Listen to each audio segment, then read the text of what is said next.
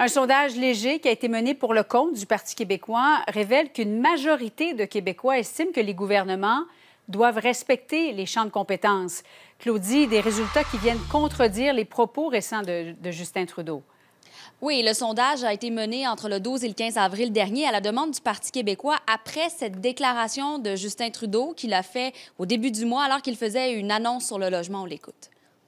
On doit travailler en partenariat pour livrer pour les citoyens parce que les citoyens s'en foutent de quel ordre de gouvernement est responsable de quoi. Ils veulent juste que leur loyer soit abordable, que leur épicerie coûte pas trop cher, que leurs enfants euh, soient en, en bonne situation pour pouvoir réussir. Alors, Julie, si on regarde plus en détail les résultats de ce sondage à la question est-ce que les gouvernements doivent respecter leurs juridictions respectives, 82% des répondants sont en accord contre 8 en désaccord.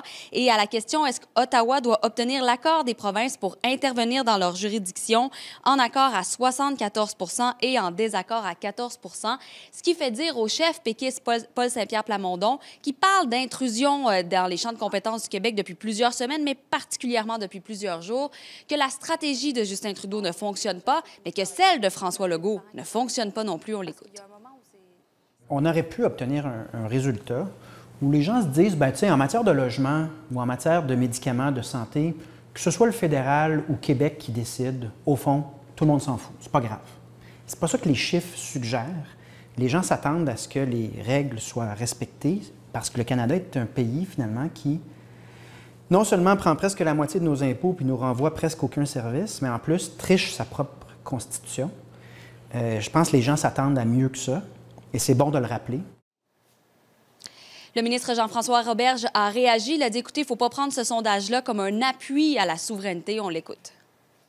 Les Québécois ne se reconnaissent pas dans le fédéralisme à genoux des libéraux, ni dans l'attitude un petit peu fâchée là, de Paul Saint-Pierre Plamondon. En réalité, que le sondage montre, euh, c'est pas un appui à la souveraineté. En fait, le Parti québécois voulait même pas sonder les Québécois sur l'appui à la souveraineté. Il savait qu'il y a une majorité de Québécois qui veulent pas de référendum. Donc, ce qu'ils ont demandé aux Québécois, c'est voulez-vous que le gouvernement fédéral respecte les champs de compétences? Voulez-vous que le Québec négocie fortement?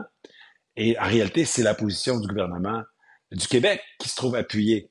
Nous sommes ceux qui négocions et qui faisons des ententes avec Ottawa, comme on l'a obtenu d'ailleurs avec euh, le logement puis avec les garderies.